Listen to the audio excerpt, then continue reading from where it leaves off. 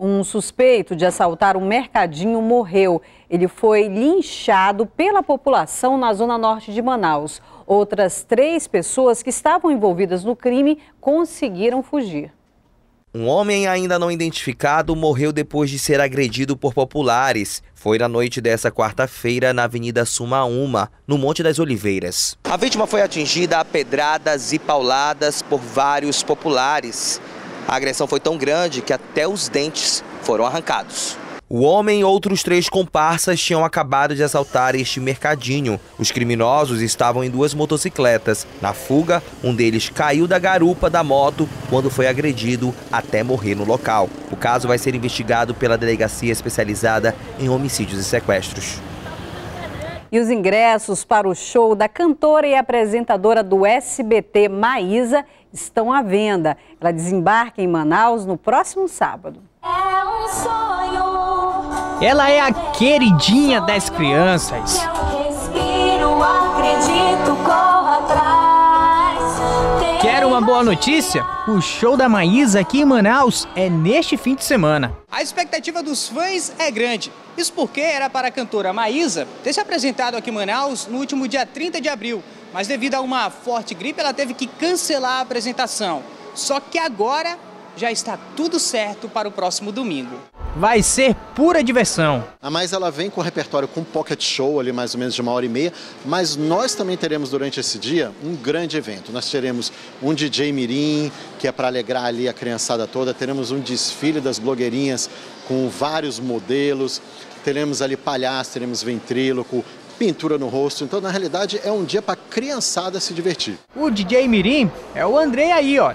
Ele tem apenas 14 anos, mas fala como gente grande. Vou estar lá para agitar a galera, para animar o público, para que eles tenham uma excelente noite de festa. Daniela é blogueira. O blog é o Clique na Moda. Ela tem mais de 56 mil seguidores nas redes sociais. E lá está todo mundo ansioso pela apresentação da cantora. Querem tirar foto, querem conhecer a Maísa, mais um pouco dela, né? E eu, eu que já tive a oportunidade de conhecer a Maísa, eu conto que ela é uma pessoa maravilhosa e todo mundo vai amar a Maísa, que ela é um amor de pessoa.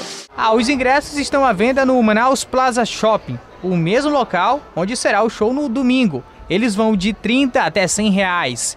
E estão saindo bem rápido, viu? Você veio comprar ingresso para quem? Pra minha prima, que ela é super fã da Maísa e ela me pediu presente, eu vou dar para ela, presentear ela. A Larissa acompanha o trabalho da cantora Maísa e tem certeza de que o show vai ser bem divertido. Todos os fãs mirins adoram e vai ser maravilhoso ela fazer show pra criançada, pro pessoal se divertir. Então é isso, pessoal. É bom correr para garantir o ingresso e a alegria da garotada.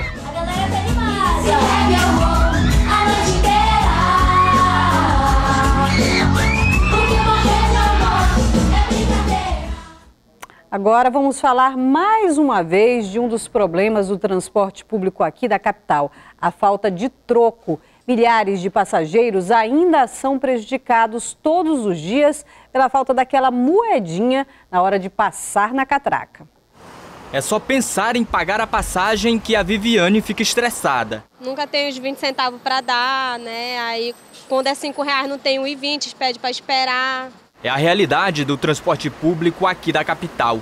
A falta de troco nos coletivos. E com a passagem a R$ 3,80 ficou ainda mais complicado. Quando eu posso levar trocado, eu levo trocado. Quando não, é R$ 4,00, R$ 5,00 eles mordem. Nunca dão um troco certo pra gente, fica por R$ 4,00 a passagem. Os passageiros passam horas dentro dos coletivos esperando as moedinhas. Quantas pessoas ficam em média na fila? Às vezes depende, fica três, quatro, dependendo. Se eu não tiver moeda aqui, eu não passo, não. Eles aguardam aqui, quando chega na parada dele, eles descem. Muitos até desistem de esperar. Às vezes eu trago trocado e às vezes eu não trago, eles não devolvem os 20 centavos, né? Eles ficam com 4 reais ou até então 5 reais, né? O usuário sai perdendo. Com certeza.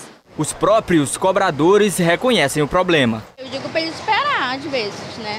Eles esperam e quando não tem, desce pela frente. É difícil trabalhar sem dinheiro miúdo. A empresa ela dá dois reais para nós para passar troco. Dois reais de moedinha. Se a gente atende mais de 500 passageiros. Então a gente não dá conta. acaba descendo sem o seu troco. Em março deste ano, o Sinetran informou que recebeu 25 mil reais em moedas de 5 centavos para facilitar o troco dos passageiros, mas parece que elas sumiram por aqui. A falta de troco é um problema sério mesmo. Até brigas dentro dos coletivos por causa das moedinhas já foram registradas. Já teve caso de agressão, já teve caso de colega, de passageiro bater em colega.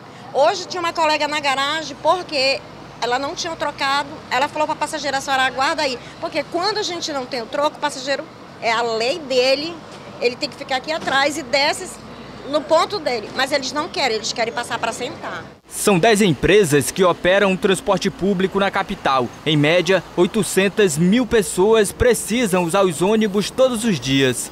Mas, apesar do problema ser antigo, o Sinetran, sindicato das empresas de ônibus, diz que falta consciência aos usuários. É importante que o usuário é, utilize a moeda, faça a moeda circular. De modo que, se ele recebe a moeda como troco hoje e amanhã deixa em casa, ao invés de usá-la, a moeda não circula, né? ou deixa no famoso cofrinho. Né?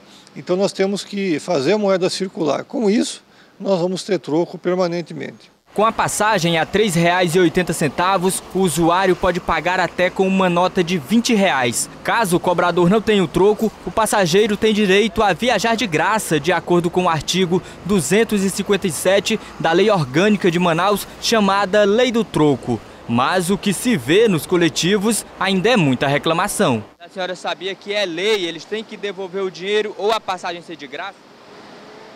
Eu, eu sabia, mas aí isso não acontece a empresa sempre acaba ganhando. Com certeza.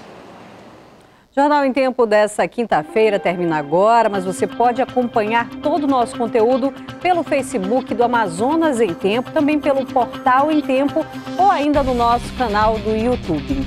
Muito obrigada pela sua companhia. A gente volta a se ver amanhã. Até lá.